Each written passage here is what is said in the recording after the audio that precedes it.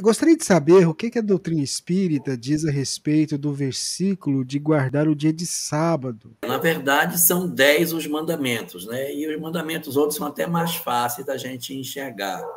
Não matar, não adulterar, não roubar, não, é, não dizer falso testemunho, não cobiçar as coisas do próximo, não cultuar imagens, não ter outros deuses diante de mim, honrar pai e mãe, não tomar o nome de Deus em vão, são os outros nove mas esse parece ter uma coisinha meio diferente, porque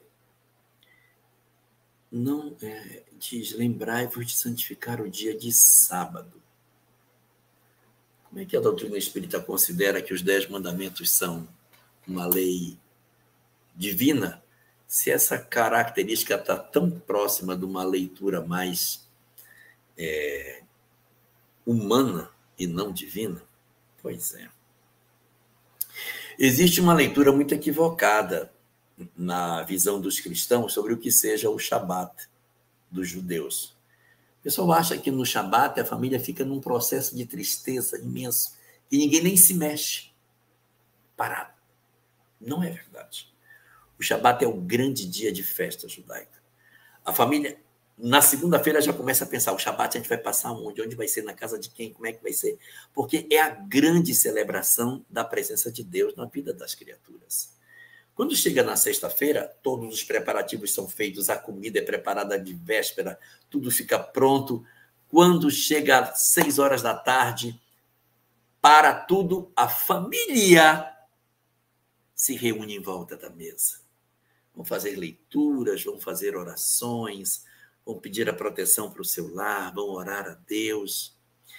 E depois que, que acaba esse momento de oração, esse momento de celebração, que a família ficou o dia inteiro cuidando desse momento para estarem juntos, ninguém sai de casa. Eles passam o resto do dia juntos. Resto do dia não, resto da noite, né? Já é de noite. Resto da noite juntos. Eles vão cear. Então, há um jantar que foi preparado as coisas são feitas durante a semana para o Shabat.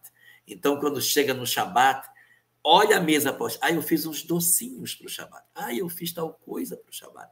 Ah, eu preparei. Olha o que eu preparei. Então, é um momento de entrega.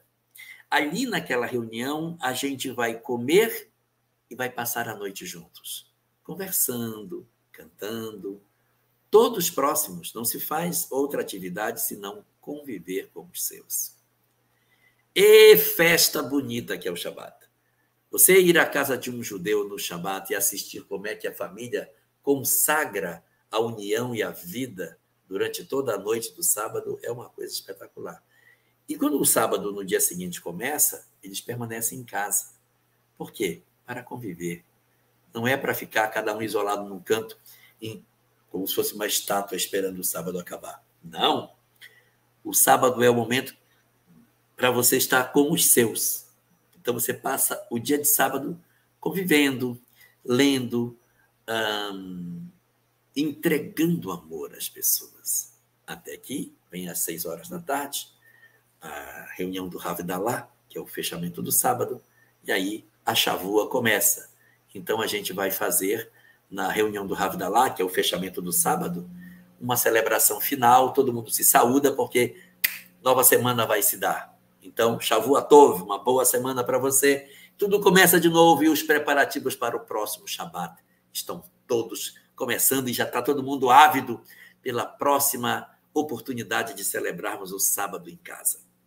Os cristãos não têm essa leitura, então acham que o Shabat é uma festa triste. Ao contrário, é uma saborosa festa de, de festejo da vida e da presença de Deus que, que o Espiritismo tem sobre isso? Alguém já ouviu falar de um negócio chamado culto do Evangelho no lar?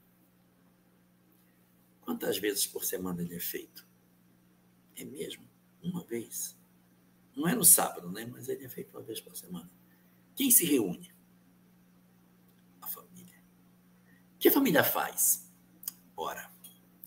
Ora, reflete, está junto, celebra essa união, pede a proteção de Deus para a sua casa. E no livro Messe de Amor, que é a primeira, acho que é o Messe de Amor, a primeira obra que Divaldo psicografou, se eu não me engano, é mensagem 59 ou 60, uma das duas. Fala sobre o evangelho no lar. E lá diz assim: Após o culto do evangelho, não te demandes para a rua. Permanece no teu lar para usufruires os benefícios das energias que foram auridas durante a reunião. E sugere que nós nos mantenhamos em casa. Olha que coisa interessante, como parece, né? Então, na verdade, a gente vai ter a percepção que essa essa coisa de nós termos uma reunião semanal em casa para que nós celebremos as nossas relações de família, elas são muito próprias desse processo de conexão do homem com o divino. Guardar o sábado, pode ser guardar a quinta, guardar a sexta, mas uma vez por semana faz uma pausa. É a mensagem 59 do Mestre de Amor. Uma vez por semana faz uma pausa nas suas atividades diárias te consagra a família. Para, lê, reflete, convive com os teus e após a reunião não te demandes para a rua.